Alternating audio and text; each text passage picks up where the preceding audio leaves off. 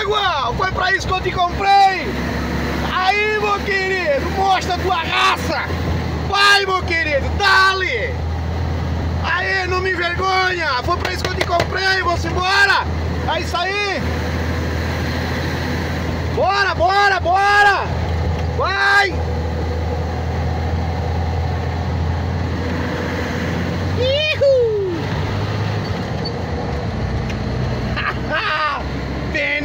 Veneno! Sabia que tu ia subir! Tu é bom!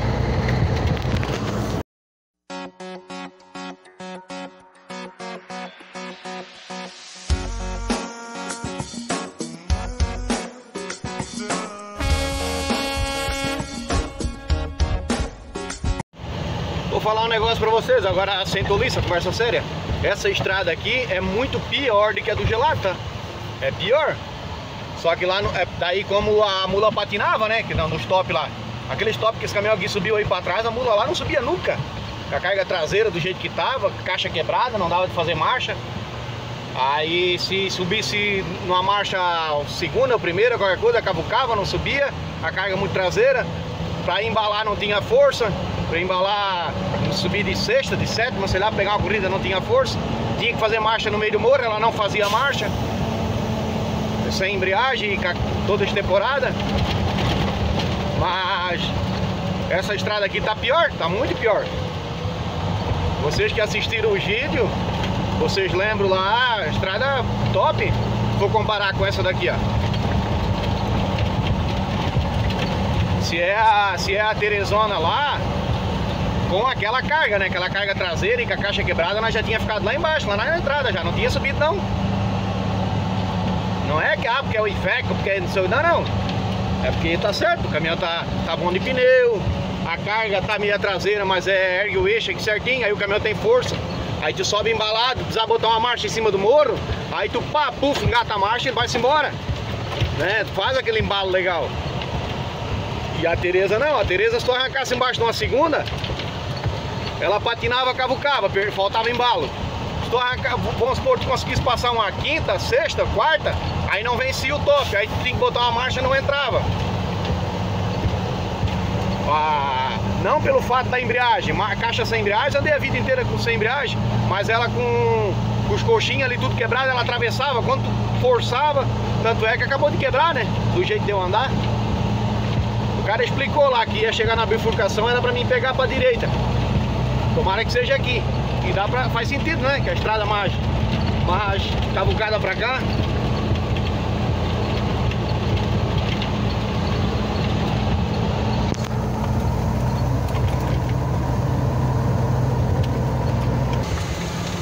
Olha como provavelmente isso aqui estava liso ontem.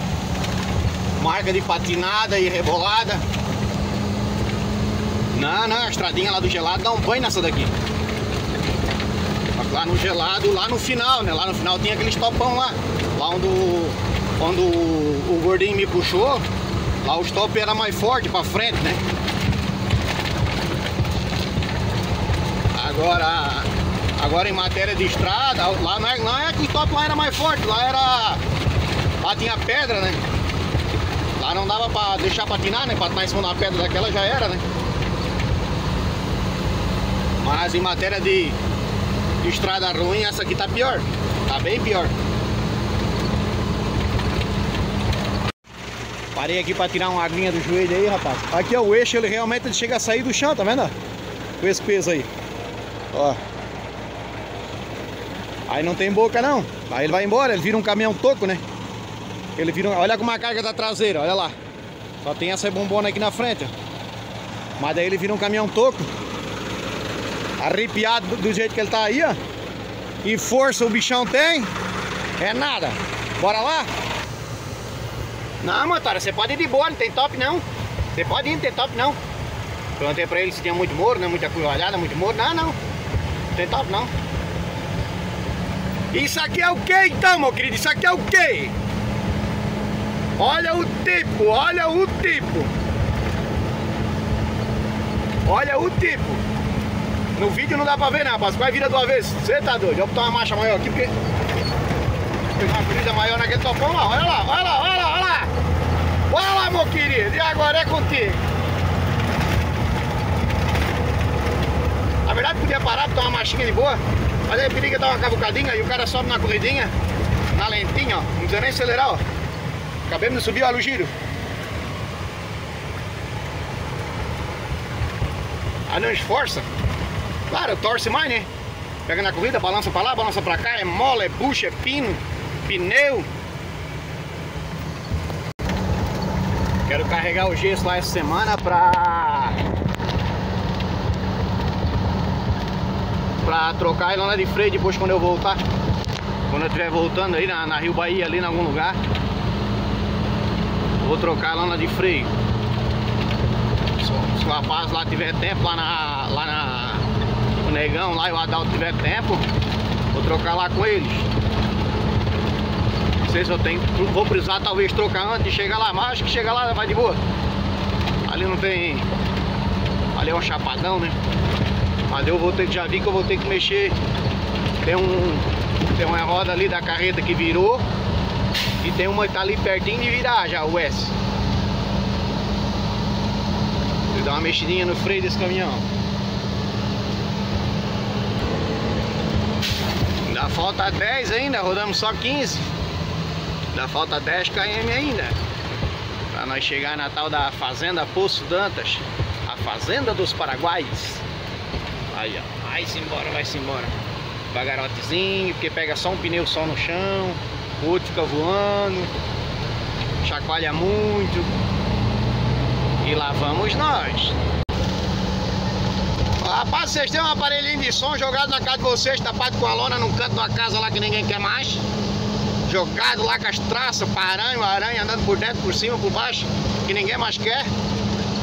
Dá ele pra mim, pô. Manda pelo frete aí, pelo Sedex, manda pra algum canto aí, nós dá um jeito de buscar. Ah? ah, o meu aqui eu tô precisando de uma doação no aparelho, o meu aqui não funciona. Vai que alguém tem um jogado por lá, ah, troquei de carro, esse aqui não quero mais, não. Ganhei um, não sei do que, comprei outro, ah, tem esse aqui, ó. Não, fornece pra nós aí. nós demos um jeito de, de, de pegar ele. É, rapaz, é top mesmo. É força de top, morro. É pirambeira com força. Mas já suspeitava que as estradas do Maranhão já é assim, principalmente essa região aqui, já é já é mais assim nos top de morro, né? Ah, lá embaixo, lá no Tocantins é mais mais plano, né? Aqui o Maranhão tem muito top. Essa rodoviazinha mesmo ali, se sair essa essa 226 ali que vai pra pra o Grajaú ali, essa estrada aí é pesada pra sair ali no Barra do Corda, tem uns topão, uns top forte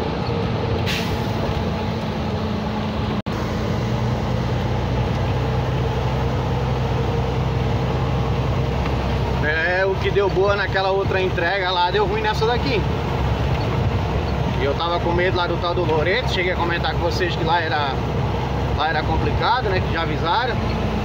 E essa daqui falaram que é boa. Se essa daqui é boa então, aí eu já não sei mais, aí eu já não sei mais de nada.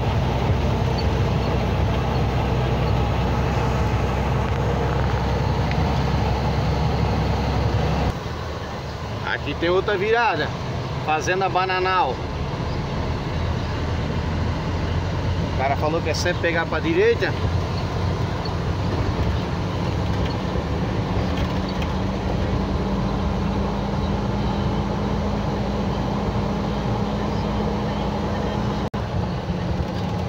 Aí vejo tem, tem outro nome, né? Igual aquela que lá nós fomos na terça-feira, né? Fomos naquela fazenda lá. Que era... Marcava outro nome, né? Era Rio, sei lá o que lá, e marcava outro nome, né? Aquela que eu fui pedir informação e acabou sendo lá mesmo.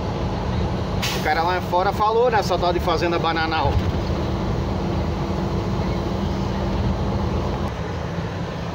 Só que a gente só vê fazenda de boi, de gado não vê não ver fazenda de soja. Ah, o cara falou que bem lá no final tinha uma fazenda de soja, que era essa então eu ia descarregar. Pode ser, que às vezes é porque tá longe ainda, né? Falta, falta 8 km para dar os 25. Chegamos aqui numa propriedade particular. Tem um pessoal ali dando com boi ali, ó. Eu vou lá conversar com eles. Porque aqui, aqui pelo jeito é a casa do cara. Fechou, tem uma porteira aqui, ó bem que tá umas duas abertas, né? Às vezes é porque tranca mesmo. Vou ali perguntar pro cara. Olha que coisa mais linda.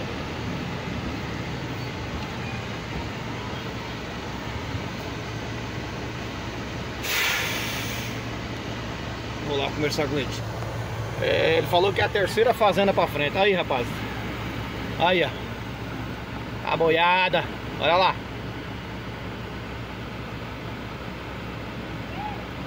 Olha aí. Porrada de boi gordo. Vai encostar com um caminhão para carregar ou vão vacinar, o que vocês vão fazer será, né? Aí. Olha que riqueza. É o nosso Brasil.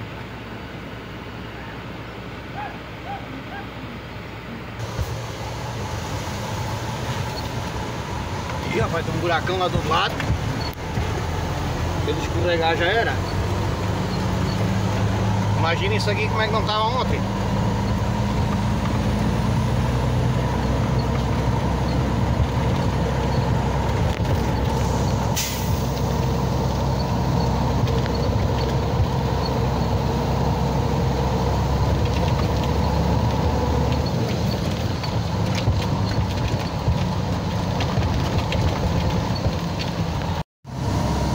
Se o Gilberto buscar na hora, né? Aqui, ó. Já leva pra Curitiba no mesmo instante. Não podemos deixar o Gilberto ver esse vídeo. Só o Gilberto já vem buscar.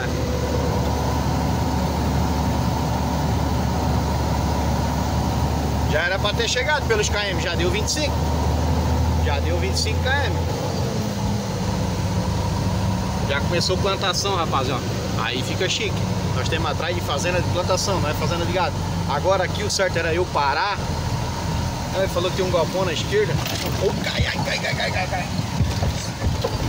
O certo era eu parar e ir lá perguntar, né? Nessa fazenda aqui. Mas lá é de boi ainda. Não, mas tem a colhedeira lá dentro. A máquina colheitadeira. Vou lá perguntar. Vou ali perguntar. Que ali pra frente eu não sei como é que é. Tô meio perdido, será que é aqui mesmo não? Rapaz, tá me esperando aqui, e aí? Cerâmica Poço Dantas? Não é? Cerâmica Poço Dantas? É. Não, aqui é Fazenda Bananal. Não é do Bananal. É.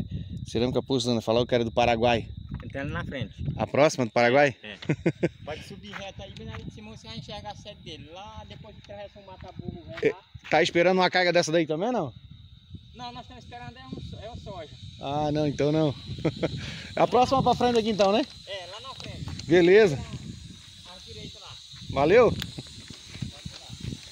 Vai que não é, né, rapaz? Vai que não é, daí... Show de bola, tamo certo. Aí o pessoal pergunta assim, Ô Sérgio, o que, que tu gosta de andar no meio do mato? De andar na cidade e tal, eu vou dizer um negócio pra vocês. O povo do interior, da roça, acostumado a lidar na, na lida aí, ó, tem muito mais educação, é muito mais prestativo. Tudo tem as exceções, claro, mas no geral, do que o povo grande, gala, sabe? Eu acho massa. É muita. É, sabe por que eu tô falando isso? Não é pessoal de cidade grande, que mora em cidade grande, não, quero que se ofenda, de jeito nenhum. Entenda o que eu tô falando, entenda o que eu tô falando é o seguinte. A, uma fazenda da outra aqui dá 10 quilômetros, eles se conhecem. Por quê? Porque só tem duas fazendas. Então se precisar dar uma informação, eles sabem onde é que é. Aonde eu me criei, contava-se as casas. Ó, lá mora o fulano, ciclano, plá, plá, plá numa distância de 30 quilômetros, é muito mais, mas numa distância de 30 quilômetros, a gente sabia o nome de cada morador. Se precisasse dar uma informação, eles sabiam onde é que é, o que que é, o filho do fulano, o ciclano, entendeu? Geralmente era apelido, né? às vezes nem se conhecia pelo nome. E numa cidade grande, eu, um apartamento, eu não moro numa cidade grande, mas eu moro num condomínio. Se perguntar o nome do meu vizinho que mora do lado, eu não sei. Tá entendendo? Aí se torna muito mais prestativo tu pegar uma informação de um cara do interior. Porque ele vai te entender. Ele conhece a região. Entendeu? A cidade grande o cara sai para trabalhar, foca no serviço, pá, volta para casa, conhece algumas coisas, mas o vizinho do lado ele não conhece. Então no interior é bem mais fácil tu lidar, é mais fácil. Aí o cara da cidade já é acostumado com muvuca. Um cara da cidade, por exemplo, assim, mora numa cidade muito grande, por exemplo, mora no centro de São Paulo. Ou qualquer lugar, nem vou falar São Paulo, qualquer outra cidade, na minha, Tijucas, qualquer lugar, que é uma cidadezinha pequena. Mas de repente tu vê um, um andarilho alguém dormindo na rua, o cara nem dá muita importância porque ele já vê aquilo ali o tempo todo. Tem muito. Agora pega um lugar que nem esse aqui, um canto, um interior, aí tu vê um, um, um, um dormindo na rua, é um fim de mundo. Ou o cara tava dormindo na rua e pá, tá, tá entendendo? É disso que eu tô falando. É, é, é a cultura, é, é o, como é que se diz assim, um aprendizado. É outro, outro, outro mundo, é outra realidade. Tu vê o cara, tá certo, o cara tava esperando outro, mas ele pegou a motoquinha dele e veio ao meu encontro para saber onde era, sabe? Para explicar onde era. Não tô dizendo que o pessoal da cidade grande não faz, mas toda hora tem um pegando informação na cidade grande. Então toda hora o cara vai ter que fazer isso, o cara não faz, então o cara já não dá bola. Quando vem um para conversar contigo, tu nem liga, porque tá toda hora um querendo saber uma coisa, agora aqui não. Aqui a cada 15 dias chega um pedindo uma informação. Rapaziada, para quem não sabe, tem muita gente que não conhece, isso aqui é um mata-burro, tá? Nós passamos por cima de Jaúz ali, ó. Agora há pouco nós passamos em cima de um. Isso ali é um mata-burro, ó, tá? Quando fala assim, ah, um mata-burro, não sei o que e tal, é isso aí. Até essa semana eu tava ouvindo uma história engraçada do, do, do Leonardo. Sou fã daquele cara. Aí da história do mata-burro, que ele caiu, trancou o pé no mata-burro, não sei o que e tal. É isso dali. É, tá bem na hora do, do veneno mesmo, tá na hora do plantio, né? Aproveitar a chuva. O povo quer aproveitar a chuva, por isso que precisa do veneno, né? Tá na hora aí, ó. A lavoura tudo vazia. Eles colheram foi. Parece que colheram aquele sorgo aqui. Não sei como é que eles chamam aqui, que é pra silagem. Não dá pra identificar o que, que tinha plantado aí. Mas acho que era. A estradinha já ficou show, ó. A sede é lá, rapaz, ó. Pelo, pelo que o rapaz informou. Mas aqui lá dá uma volta de graçada. Mas daqui a pouquinho nós estamos lá. Chegamos aqui. Vou ali perguntar se realmente é aqui, nessa fazenda. Que eu ainda tô, tenho algumas dúvidas. Mas não tem outra, tem que ser essa. Rapaz, é aqui mesmo, é aqui mesmo. Deu boa. Vou encostar do lado aqui para tirar primeiro os baldes. Balde pequeno. Vai sair 20 baldinhos pequenos. E, e 8 daquela bombona grandona, que nós descarregamos de 200 litros. Vou botar aqui do ladinho aqui. E por aqui tá bom. Toma um pouquinho. Acho que por aqui mesmo. Então vai dentro da poça lá. Rapaziada, soltei a corda ali começamos a descarregar, eu mudei, pensa numa água fedida essas aí. Soltei uma corda, já tiramos os baldinhos. Eu vou deixar o telefone carregando um pouquinho aqui. Era força de lama, eu dei altas patinadas ali para desatolar ele lá no, onde nós, nós paramos ali. Aí eu vou, vou lá bater a carga junto com eles aí, depois nós voltamos aí, valeu? Rapaz, nós já não estamos mais aí, tá? Onde vocês estão me vendo aí, não estamos mais aí. É o seguinte, já fui pro Grajaú, pra cidade, já descarreguei lá, filmei tudo pra vocês. Tô chegando aqui na, em Balsa. Não cheguei porque deu um BOzinho no caminhão ali, ele furou um cano do retorno. Perdi diesel pra caramba, e daí corta daqui, bota de lá e coisa e tal, e ajeita e tal, daí... Vou filmar pra vocês a estrada, quero fazer um vídeo só dessa 006 do Maranhão. Na verdade, há quem diga, não, mas aí não é a rota para ir pro Balsa. Sim, mas aí dá uma volta lá na casa do não sei de quem lá para até chegar aqui. Aí demora esse monte todo. Então a rota do caminho, na verdade, verdadeiro é aqui. O pessoal é que desvia que passa lá por lá longe. Aqui encurta muito caminho. Tá? Então, mas eu filmei tudo para vocês aí para mostrar a rodovia aqui do Maranhão. esse vídeo aí, nós atolamos o caminhão, fizemos um monte de coisa e tal, então ele ia dar muito longo. Eu tô colocando o final do vídeo agora pra vocês e amanhã a gente mete ficha, né, desbravando esse maranhãozão velho aí, beleza? Rapaziada, fechamos aqui, ó. Fechamos o carrego. Olha como é que ficou a traseirinha. Carga lá na bunda dela. Só que ali atrás é aquele balde mais miúdo, não é tanto. Aí o eixo da carreta eu botei para erguer agora. Aí compensa, ali tem, tem 6 mil quilos em cima da tração. O eixo erguido, 6 mil quilos em cima, show de bola. Aí compensa um pouco desse aqui. Na verdade vou sair esse 25 km agora de chão. E vamos rodar mais um pouquinho, vamos descarregar na cidade, no Grajaú, a próxima entrega. Então... Então daí para ir daqui até ali, ficou show. Então rapaziada, fechamos mais um videozão top. Agora vocês já conhecem mais um pedacinho do Brasil, né? Bora lá, conhecer o Brasil comigo. Fiquem todos com Deus, com a paz do nosso Senhor Jesus Cristo. E fui! Tomara que não tenha ficado de cabeça para baixo de novo, né, rapaz?